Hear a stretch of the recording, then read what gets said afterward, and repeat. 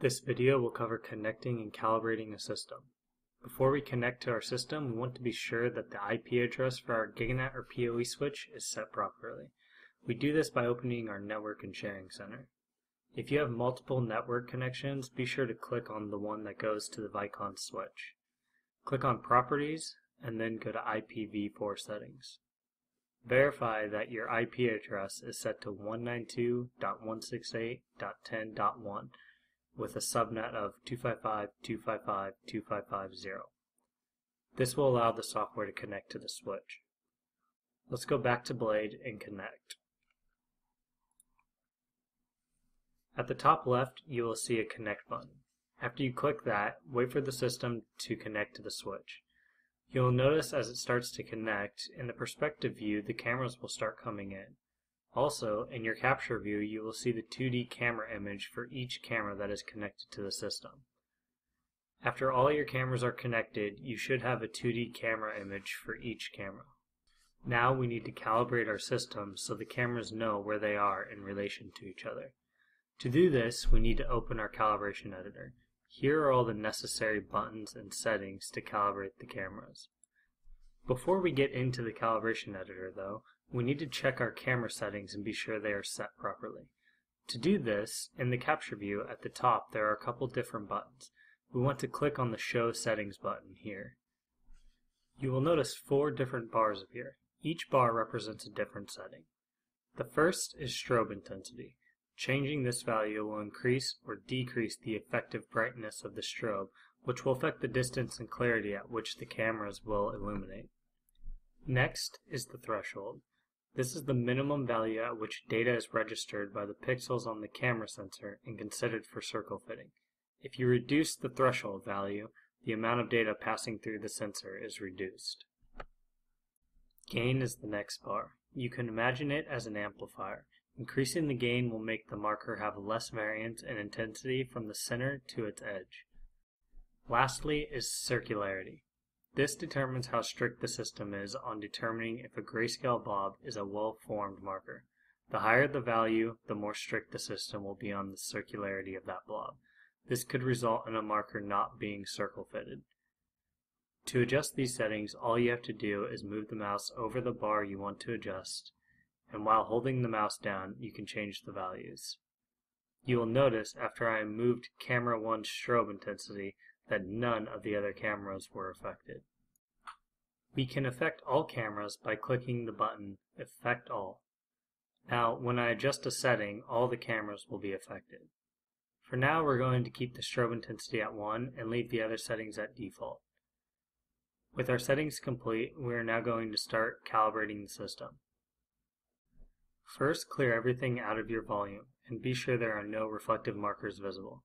I've cleared everything out, but in my camera images you still see some white reflections. Those are the other cameras. This is okay as we are going to tell the system to paint those sections of the camera and ignore any data that comes through that part of the sensor. To have the system start this process, we click the Start button next to Auto Threshold. You will notice all those white reflections have disappeared, and now I have a black image for all my cameras. Once all your cameras receive the same results, go ahead and hit stop. We now need to do what is called a wand wave. Right below auto threshold, there is an arrow you can click that will drop down some more settings. We want to be sure to have the correct wand selected. If you click the drop down box, you will see a list of different wands to use. In this video, we are using the active wand Y up 5 markers. Select the correct wand for you. The one setting that is important here is the refinement frames.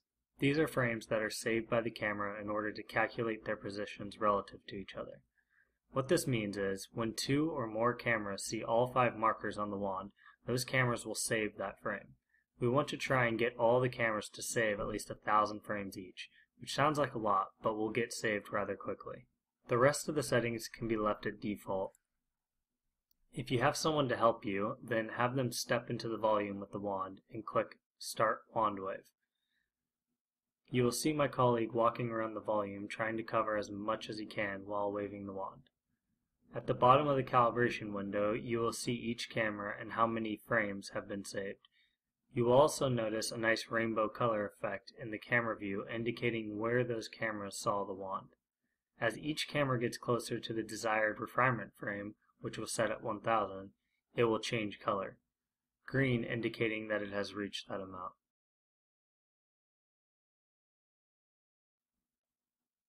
Once all the cameras have reached their respective refinement frames, you can stop the wand wave.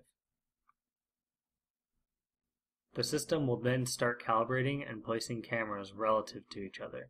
You can see this by looking at the perspective view. After it's complete, you get an indication of how well the calibration went. Awesome is the best you can get, with bad being the worst. If you get excellent and awesome, then your calibration was very good. Now we need to tell the system where the origin is.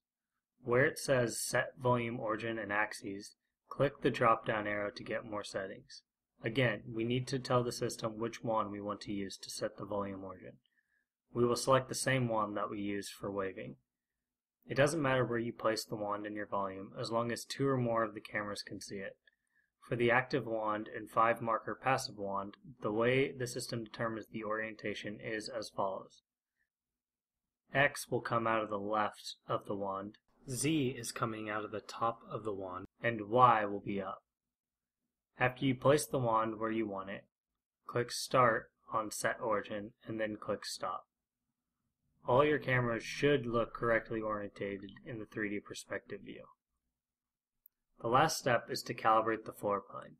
I'm going to switch to an orthographic view to better show the slight adjustment that this will make. My colleague is going to place four markers in the volume in different areas. You'll notice in the perspective view, there aren't any markers or visual indications that there are markers in the volume. I can change this by going to the top left up to the drop box that says circle fit.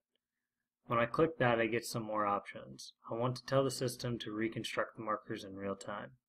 This is going to allow us to see the markers in the 3D perspective view. After I turn that on, I can adjust the display size of the markers in this text box at the top of the 3D perspective window. You can tell that two of the markers are above the floor plane slightly, and one is slightly below the floor plane. We can fix this by clicking the Start button next to Calibrate Floorplane and then hitting Stop right after. You'll notice that the markers rest evenly on the floor plane now. The system is now fully calibrated. Thanks for watching. If you have any questions, please email support at vicon.com.